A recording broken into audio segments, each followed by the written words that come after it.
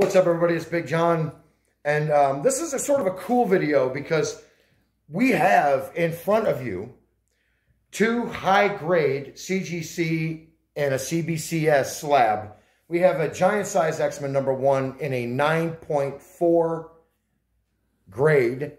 And right next to that, his brother Mark is holding up an undergraded 9.2 CGC. I have actually looked at that book. That is at least a 9.6 if it's pressed because the problem with the book is it has some indentations from the top of Wolverine's head to the top edge of the book, and they're all pressable. So um, I'm going to talk him into resubmitting that to CGC. But what I'm hoping for is that when he receives it back, that it says from the collection of Kevin and Mark Robinette, and they have their own pedigree. Because in my opinion, and you guys already know that I'm very opinionated, and I am an egomaniac, but I'm so pretty, I don't really care what you think, that these gentlemen deserve our admiration and respect. So I'm going to turn this over to them, and I'm going to let them tell you how they acquired these books, what made them decide to have them graded, or did they buy them that way? And I'm going to let you guys decide because I'm going to go wipe my face and blow my nose because um, that's how much respect and admiration. And I just met these gentlemen three days ago, but that's how much love I have for them because of the love that they have for this hobby. Well, thanks for that really kind introduction, John. I must say, it fascinates me that you have so much respect for the, the hobby and all we did was just enjoy collecting the comics because we loved them. It was just something that we wanted to read. We enjoyed the artists, we enjoyed the stories. It became a big part of our life and I'm really happy to see that other people take it so seriously as we did when we were young and so many people just didn't. We were thought to be nerds in high school, and it's just nice to see that there's so much respect for the industry. And that's the one lesson that I'm hoping that people take from this. I hope, and I really do want to see mothers and fathers with their children in your local LCS and the children picking a book and reading that book and saying, Dad, I want to go next month or in two weeks and I want the next issue because I love that issue. And they don't care what it's worth because they're eight, nine, ten years old and they just love the artwork. They love the stories and they fell in love with that like these two gentlemen did. And that's what I hope that you guys see. The point of them, me having them hold those books up, is I hope that the first thing in your mind wasn't the monetary value of these books because they are quite substantial.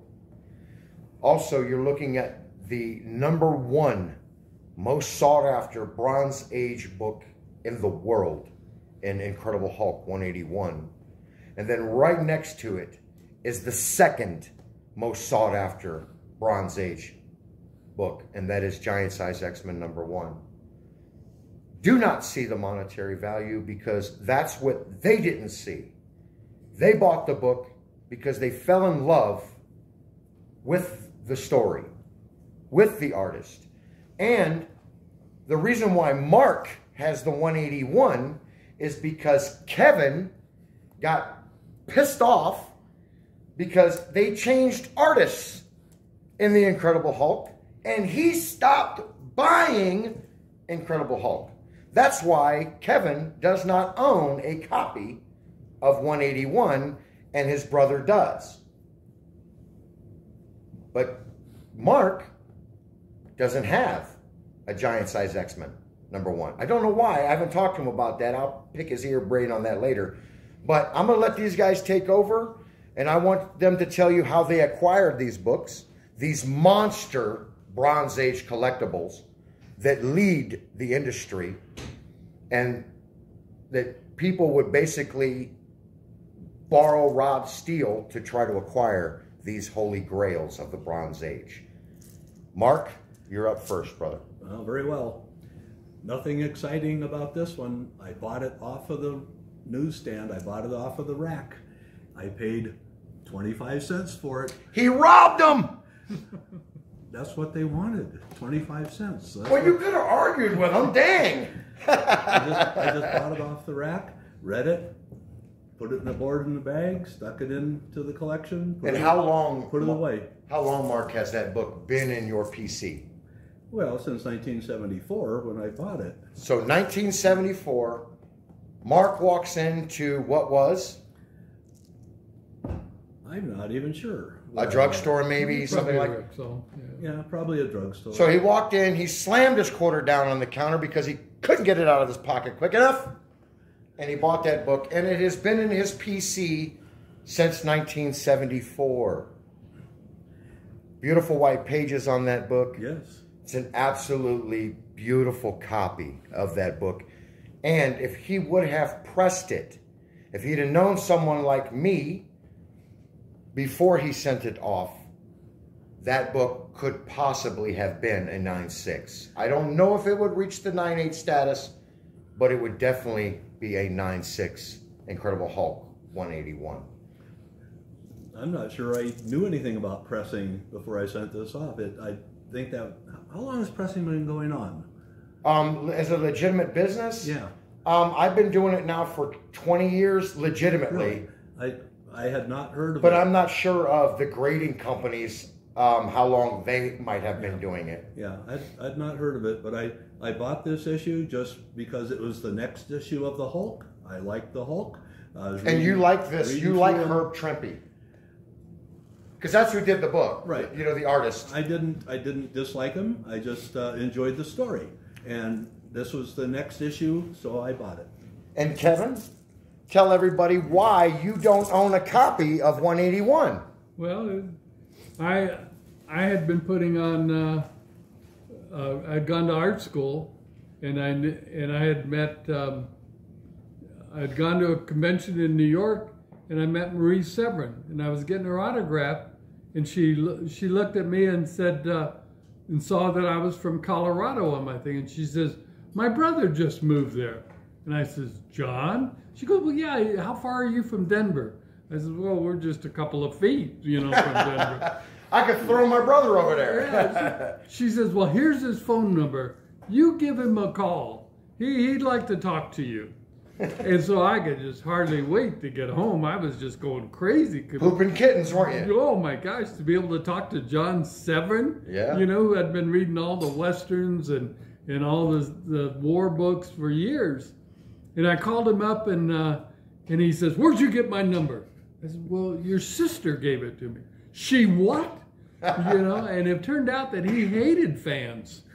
He wouldn't go to conventions. He wouldn't do any of that. So what Kevin's not telling you is he's a super stalker. This was his, his sister's idea of a prank. And Oh, she, man. and he says, "I'll get even with her." Yeah. You know. and- so she was, he was, he was all upset, and so I, that summer, our school um, was didn't ha- had some open classes, and so I went to the school teacher and I said, "Can you, can we get John Severin to come in and teach a class?" And uh, our our schoolmaster in charge of the school had um, studied under Bridgman, and of course Bridgman's one of the iconic uh, illustrators of of anatomy, and he was a big fan of comics and Prince Valiant and and all Milton Caniff and everybody over the years. He, he was a big comics fan, but we never had a comic class. So he, I got him in contact with Severin, and he he actually talked Severin into coming down and teaching a class. So there was about ten or twelve of us that took a class under John Severin at the school on how to draw comics. But to be honest, we just sat around and told stories about comic books. you know, we hardly drew anything. Which is one of your favorite subjects anyway. It Oh, doesn't really was, matter. It was the greatest time there was to sit around and just talk to and hear the stories and and of course, he had this story that said he started Mad Magazine, and we just looked at each other and went, oh, "That's crazy," you know. But when we went and looked it up, he drew nine of the first ten Mad Magazine comic books. So he was in the in the first issues. So he was the beginning of Mad, and then he went on to produce Crack and draw for Crack and stuff.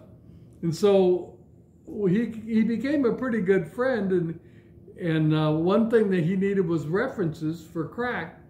And a friend of ours worked in the movie business, so we could get stills from the movies that he would just throw away, and I we would rescue them and give them to him, and he'd use them for reference to draw the latest satire for Crack magazine. And so we became pretty good friends with him, and he he said it when we started to have our comic conventions that he'd come to my comic conventions, and then he was he had he'd go, okay, who do you want? Said, what do you mean? He says, who do you want to come to the next one? He says, I get you Joe Kubert. I get you uh, Carmine Vidal. Who, who do you ever you want? We'll we'll have him get out here. So he became a great uh, resource to bring in people for my conventions, and it was it was amazing, you know. And so I got to go over to his house and and meet with him and the family and so forth. And, But because he he left Incredible Hulk, yeah, but You- you because he it wasn't drawing the Hulk anymore, I, I had other places to spend my money.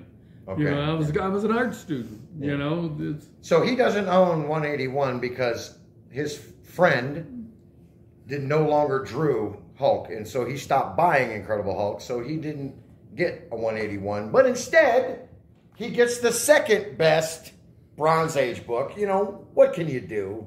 And that is the Giant Size of X Men number one that you see in front of you, CBS 9.4, CBCS 9.4. Tell everybody how you acquired that monster. actually his uh, friend that went to school, he had bought a stack of them, and he brought it to me, and I was looking at him, and I says, "That's that's the most perfect book I think I'd ever seen." Now wait a minute. Now see, I you didn't tell me that. No, I didn't tell you about this. No, see, you're, you're pissing in my pool. Yeah, well, I Because you just said you bought a, he brought in a stack. he did. He had he had four or five. Don't, don't show people that, man. There's not enough newspaper to collect all them kittens. The hell's wrong with you? I you know, and I and I said I hadn't seen that yet, and I and I I, I think I bought one from him for oh I think it was a dollar. Okay, so now we just pooped some Yeah. more. Thank you, uh, Kevin. Appreciate it. But it had the most crisp edge and it went right down perfect and i like i said i'd never seen a square bound book that was perfect like that Yeah, they're usually got some wrinkling or crushing. yeah or something. bend or the staple coming through in the back Yeah, or- something. or- there was always something inherently wrong with them back in those days. oh yeah i mean like actually you pull them off the rack And they not were gonna they were twisted and bent. that was everything what else. we had it was all we could get was what was on the rack Yeah. So I talked him out of one of them, and he, and the guy let me let me get it, and and uh, it was kind of exciting. To, then I put it away, and I never even read this one. I just put it away because I just never seen a book that crisp. But, He's never read Giant Size X Men number well, one. have, but But he has a nine point. Not Not, not. That one. this one's never been read. That one's never been read. So hence the 9.4 grading, even though um, it's never been pressed. And the only thing that's wrong with that book is on the back, really, and it's pressable defects. So um, we might have to, you know, beat Kevin up and take it and press it and resubmit it and give it back to him in a 9.6 or a 9.8. And I think then I could actually get Kevin to poop kittens. it would be pretty amazing. They did say there was some little dings in the back. in the back, which I've already looked at those little dings, and they are quite pressable. But for Big John, Kevin, and Mark, we're going to stop it right there. Um, I want Mark to show this beautiful book again because the colors on this are absolutely stunning. And now you get to look at the two most iconic Bronze Age collectibles in comic books, even to this day. So for Big John, that would be me, my friend Mark, and his brother Kevin. We're going to stop it right there. Happy collecting. Yes, there you go. Any last words, Kevin? Thank you much, and do do keep reading comics. There you go, guys. We love you. And as for Big John, as usual, I'm out.